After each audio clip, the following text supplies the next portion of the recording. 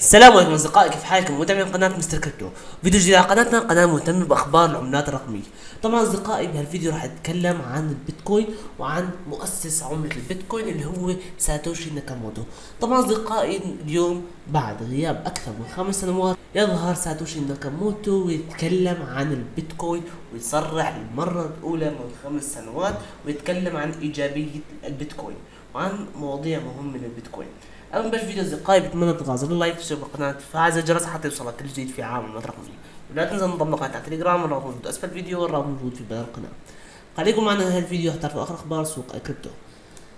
أول اصدقائي نتكلم عن تحليل البيتكوين. بالأمس تكلمت عن صفقة شورت دخلتها بمنطقة ال 27 ألف دولار مع stop loss عن منطقة ال 27400 وفعلا اصدقائي صفقه ضربت stop loss بعد اختراق وإقفال شمعة أربع ساعات اعلى منطقة منطقة المقاومة أو منطقة الترند الصاعد هي منطقة 27150 طبعا شمعة أقل من 15 دقيقة ارتفع البيتكوين وعمل pump تقريبا 1000 دولار.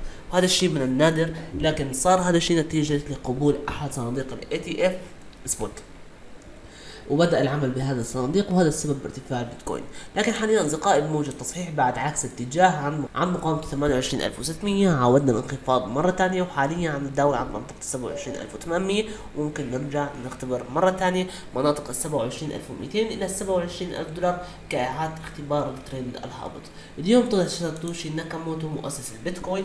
طبعا هذا الشخص مجهول الهوية ما حدا بيعرف مين هو بالضبط لكن اليوم غرد لأول مرة من خمس سنوات وتكلم عن البيتكوين وقال أن البيتكوين هي آلة أصلية وعلى المدى الأشهر التالية سنستكشف الجوانب المختلفة التي لم يتم تضمينها داخل الورقة البيضاء. هذه الجوانب كلها هي أجزاء من البيتكوين وهي مهمة جدا وقد تم التطرق إلى بعض هذه الأفكار في السنوات الأولى. الآن هو الوقت المناسب للاستقراء والشرح. طبعا أصدقائي عم بيقول إنه في جوانب كتير مهمة حاليا ما حدا بيعرف عن البيتكوين. لازم تنكشف بالوقت الحالي.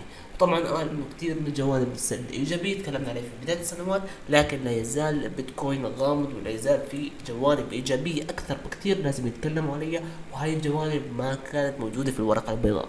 بالأمس تكلمت عن الفيديو عن مؤسس كتاب الأب الغني وأب الفقير وطبعا حكى إنه البيتكوين هو وسيلة لمحاربة التضخم ونصح بشراء البيتكوين والذهب والفضة للتخزين المدى البعيد. حاليا أصدقائي هاي هي أخبار بالوقت الحالي. ممكن هاي الأخبار تسبب ارتفاع البيتكوين أو ممكن تعمل حركة للبيتكوين حتى يصير عندي نوع من أنواع ال FOMO وزياده في ال volume. أصدقائي خلصنا هاي الفيديو اتمنى الفيديو يكون عجبك لا تنسى تشترك بالقناة وتفعل الجرس تفضل لايك حتى يوصلك جديد في عام الرقمي مع السلامة دمتم بخير.